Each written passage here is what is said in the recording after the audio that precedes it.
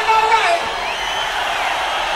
Yeah, we're gonna do another song. This is a song called Yank Me, Crank Me, but don't wake up a man.